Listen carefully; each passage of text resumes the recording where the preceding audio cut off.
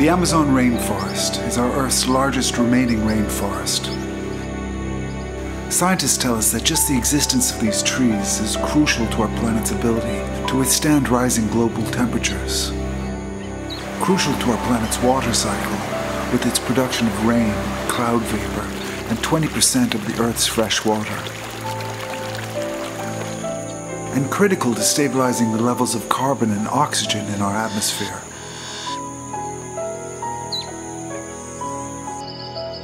The rainforest has become a global symbol for species and habitat protection.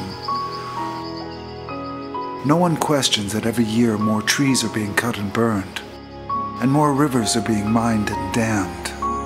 The question is, when will be the tipping point for the ecology? Economics is driving deforestation and mining, and with 25 million people living in Amazonia, even conservationists will agree that some form of industry is necessary. But are there industries that can extract resources in ways that are sustainable? The trade in wild-caught tropical fish has been a source of revenue for river communities for almost 60 years. One example among several of traditional rainforest industries in the Amazon region. But even though there's a strong demand in the international aquarium market for these unique species, the fishery has been in a state of near collapse for over 10 years. And now animal rights activists are working to ban the wild-caught aquarium fish trade throughout the world. What would be the impact in Amazonia? Is this trade harmful to aquatic habitats and species? Or does the aquarium trade benefit conservation efforts in the Amazon region? Let's investigate.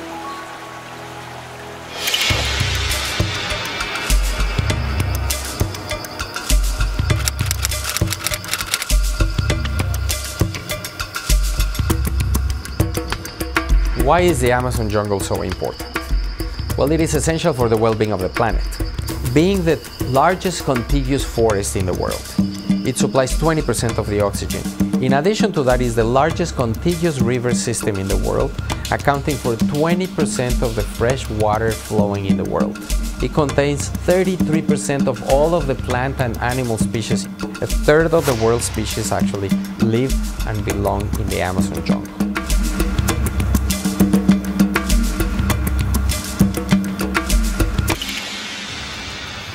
Forest that we know today has been through many glaciations and it has been essentially either wiped out or left very thin and it has recovered. The problem is not necessarily with the disturbance. Blowdowns occur in the Amazon which can destroy hundreds of square kilometres at a time, but the forest recovers because you don't have people going in there afterwards setting fires, cutting down the remaining trees and planting crops. There is a very strong link between activities of humans and any sort of disturbance that will happen. Humans are now invading most of the Amazon, and every chance they get to cut and burn, they will. If we have enough of the Amazon protected from cutting and burning, it's very likely that we'll be able to sustain the water cycle. An old mature tree in the Amazon jungle through its lifetime produces 25 million gallons of water back up into the atmosphere. That cycle of rain, and assume that there is approximately 400 million trees at 25 million gallons each, stabilizes the moisture in the entire atmosphere. Satellite research has been monitoring the rate of deforestation in the Brazilian Amazon. It's estimated that in the last 50 years, about one fifth or 300,000 square miles of forest has been cleared. In 2019, forest fires in Amazonia attracted global attention and controversy. The Brazilian Space Agency, which monitors deforestation, estimated that forest fires increased by 80% over the previous year. Each year, farmers regularly burn on their properties to prepare the land for new planting. These fires can rage out of control and burn large areas of forest. Opportunistic farmers can then move in to illegally cultivate and expand their soy plantations and cattle ranches.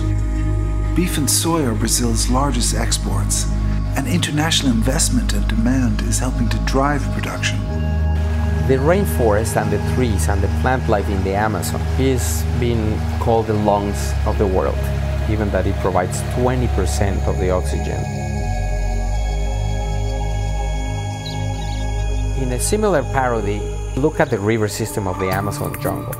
We can pretty much refer to it as the veins of the earth It's a circulatory system without which there would be no life.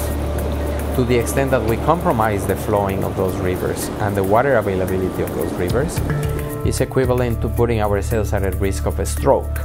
Unfortunately, we're constantly doing that with dams, with mining, with deforestation.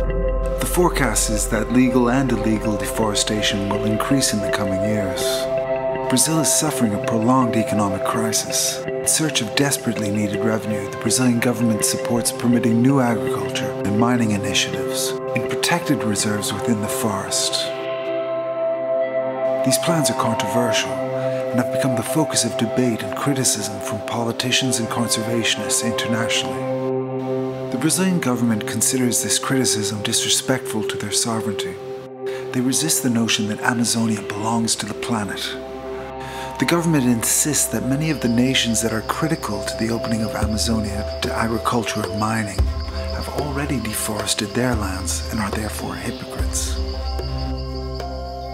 But what may be overlooked here is there are traditional industries that do not result in the destruction of the rainforest. Industries which can harvest sustainably without depleting the very resources that are being monetized or negatively impact the forest and aquatic habitats. The principal extractive industries in the Amazon are the acai palm and the Brazil nut. Uh, other industries such as fruits or the uh, ornamental fish produce a much smaller amount of overall money for the economy, but they are the most important sources of income for most of the people in the Amazon outside the city of Manaus.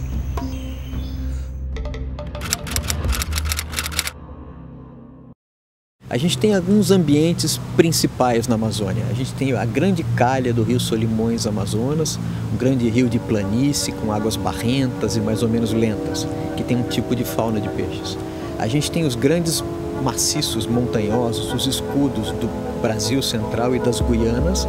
São rios de águas claras, com cachoeiras, que tem outros tipos de peixes. Né? E temos a grande bacia do Rio Negro, que também é de planície, mas de águas pretas, muito ácidas, que restringem a entrada de outras espécies de peixes que não estão adaptados a essas condições. The source of the Rio Negro is the Colombian Amazon, and as it flows southeast, it forms the border with Venezuela. Before entering Brazil and the lowland basin of the state of Amazonas. The journey ends where the Rio Negro meets the Solimoes. This is the confluence of the mighty Amazon River, known as the Meeting of the Waters. Manaus, the state capital of Amazonas, sits on the last stretches of the northern bank of the Rio Negro. É, o Rio Negro é uma das bacias melhor preservadas da Amazônia e certamente do planeta, né? É uma bacia que não tem uma vocação importante para a agricultura por causa da grande área inundada que ela tem sazonalmente, e a floresta é muito bem preservada por esse motivo. O Rio Negro, todos os afluentes do Rio Negro nascem na própria floresta. Então, todos os ácidos úmicos do chão da floresta, das folhas das árvores, carregam para a água e tingem a água nessa cor característica do Rio Negro. E essa água, que é bastante ácida por esse motivo, tem a sua fauna particular de peixes, né? uma fauna endêmica do Rio Negro, bastante diferente de outras áreas. É, o Rio Negro tem uma, uma característica muito especial, que é uma riqueza de espécies muito elevada. Então, a gente tem uma diversidade enorme de peixes num ambiente que supostamente é pobre em nutrientes, em alimento para os peixes. Então, a gente tem muitas espécies mas não muitos indivíduos de cada espécie, o que faz com que em qualquer local a gente tenha um conjunto de espécies muito distintas. Né? Além disso, a água é transparente, apesar de ser preta, né? como um chá. Então, o aspecto visual é muito importante. Os peixes se reconhecem visualmente. Então, as características de cor e de forma essas espécies são importantes para o reconhecimento entre si, para a reprodução e para a evolução. Então, do ponto de vista aquarista, né, você tem muitas espécies, uma variedade enorme, com formas e cores muito diferentes. Acho que isso torna rio, a fauna de peixes do Rio Negro muito especial.